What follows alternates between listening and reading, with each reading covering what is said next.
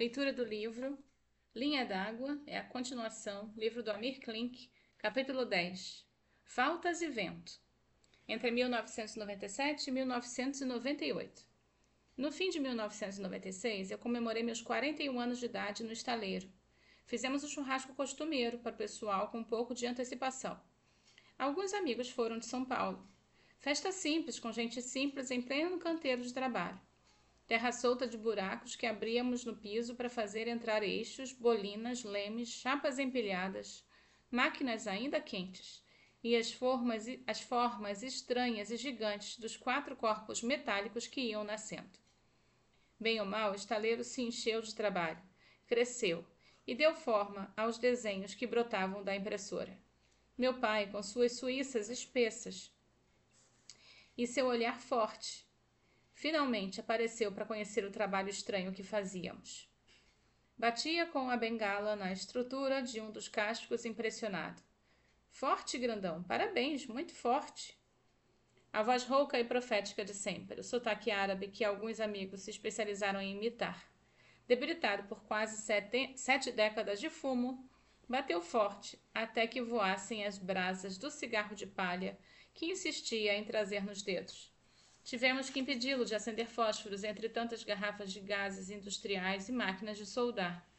Comuniquei-lhe que a razão da festa não era um aniversário ou o final do ano, mas a decisão de cumprir a promessa do cais da ilha em Paraty e casar com a Marina. Já era tempo. Com o seu modo solene e severo, beijou a Marina na testa e exigiu que no churrasco seguinte ela lhe levasse netos. Disse no plural. Rimos porque normalmente netos não vêm em pencas, são feitos um a um, mas casamos. No churrasco de encerramento do ano seguinte havia grandes novidades. O chapeamento principal dos quatro barcos foi concluído, os vultos arredondados de estruturas transparentes de cavernas e longarinas ganharam pele, chapas caladradas mais grossas no fundo, mais finas nas bordas, foram construídas rodas de aço ao redor dos cascos que começaram virados para baixo, para que pudéssemos posicioná-los nos eixos virtuais e iniciar a operação de rotação. Inicialmente tínhamos previsto fazer essa operação de virar para cima para cada casco tombando para o lado, com o uso de um guincho a ser alugado. Como não havia mais espaço disponível, optamos por virá-los em seus lugares, usando a técnica das rodas gigantes e dispensando o uso dos guinchos. O Paraty 2 esteve pela última vez emborcado. Em duas horas, depois de meses de trabalho de elevação do casco para o centro das rodas, o gigante de metal cumpriu um ritual que se assemelha a um parto. De boca para cima, virou barco. O senhor Jamil estava outra vez presente, radiante. A Marina havia atendido ao seu pedido do ano anterior, no plural.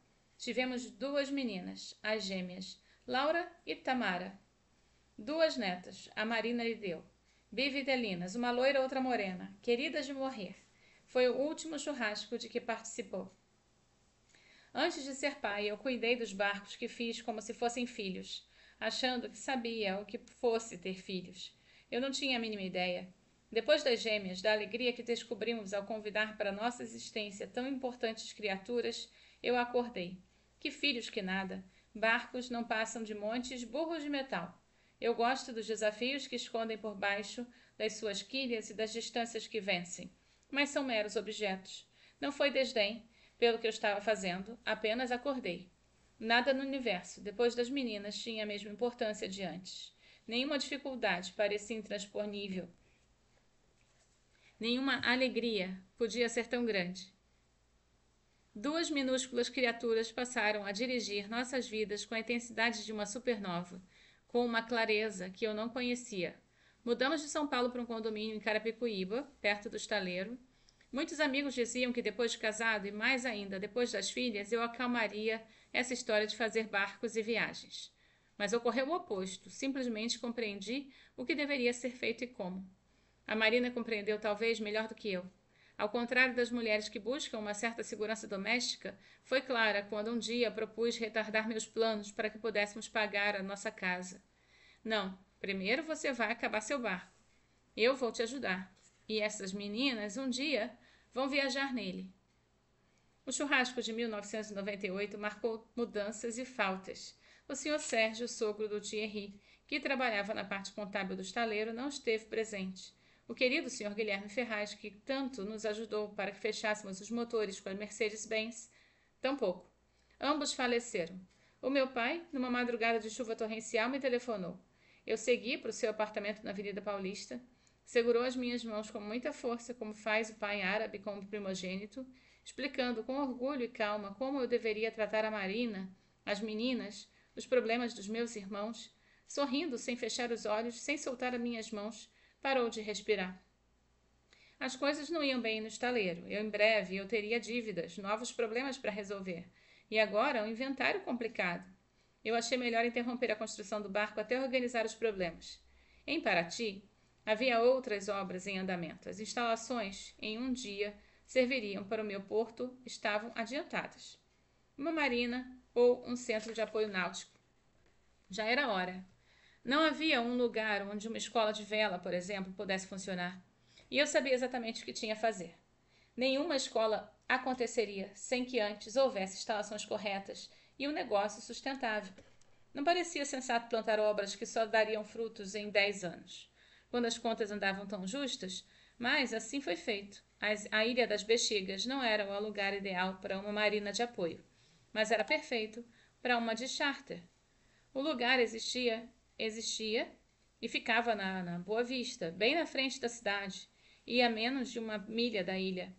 Era uma fazenda onde funcionara o último alambique de construção original de Paraty, o casarão do Engenho da Boa Vista. Um prédio com dois séculos e meio de existência, numa área que outrora fora Porto Molhado. Estava num triste estado de abandono.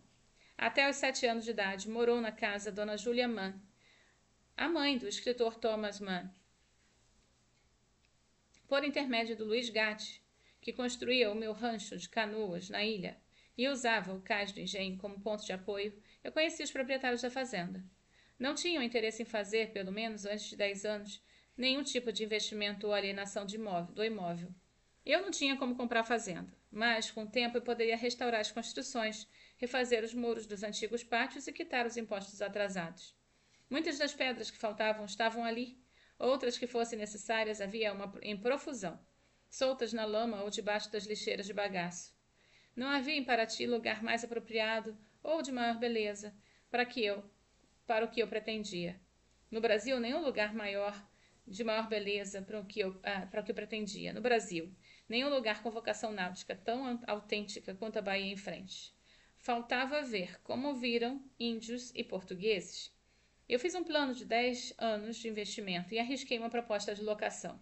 Os donos assinaram com o contrato de comodato da fazenda desde que eu assinasse todas as contas, assumisse todas as contas. Então eu concordei. Assim, começou outra obra, que exigiria que eu fizesse investimentos por uma década, até construir como eu gostaria a parte náutica. Os benefícios seriam comuns. Um, no dia em que o barco novo estivesse pronto, eu contaria com uma base perfeita de mínimo custo operacional para ficar no Brasil. Eu contaria com lugar para formar mão de obra, atender as escolas de mergulho que já se instalaram na Bahia, e as velas que eu acreditava viriam a ser criadas. Melhor que tudo, poderia trabalhar numa atividade que ensina sempre, que emprega muitas pessoas e que me dá grande prazer. A de hospedar barcos viajantes. Foram passos pequenos importantes de um trabalho lento, paciente, que foi sendo executado literalmente pedra sobre pedra, pedra por pedra. A construção do casco em Itapevi parou por um tempo, mas não os trabalhos de detalhamento e projeto que acumulavam horas aos milhares, pilhas intermináveis de desenhos, continuavam crescendo. Em cada um havia detalhes que consumiam mais horas, às vezes dias de reflexões. Muitos geravam discussões ruidosas. Era tempo de decidir sobre os mastros, e por mais que procurasse, não conseguia saber de nenhuma das carbo carbospars, ou ao menos autoportantes, que tivessem sido posto à prova numa viagem longa e reveladora. Um barco holandês de dois mastros subira até o gelo ártico de Spitsbergen, onde às vezes há meses inteiros sem um vendaval de respeito. Muitos barcos novos de projetistas consagrados haviam adotado o sistema, mas nenhum provara as tempestades do sul. Uma noite em casa, quando as meninas já dormiam, eu comecei a folhear um atlas magnífico que me emprestara o pai da Marina O Mário, velejador experiente, engenhoso construtor de maquetes de navios. Do outro lado do mapa da Antártica, na longitude da Austrália, havia uma anotação em negrito. The windiest place on earth. É aí, é para esse lugar aí que eu quero ir. Então eu exclamei apontando o mapa com o dedo. A Marina riu. Só faltava. No dia das bruxas, 31 de outubro de 1998, eu parti de Jurumirim para tentar completar o contorno da Terra abaixo da convergência antártica, com uma cruz alada novinha em folha, espetada no convés do Velho Paraty. Por falta de barcos candidatos, eu decidi fazer o teste eu mesmo. Esse foi o capítulo 10. Seguimos com o capítulo 11 no próximo vídeo, que fala dos descobertos do Brasil. Tchau, tchau.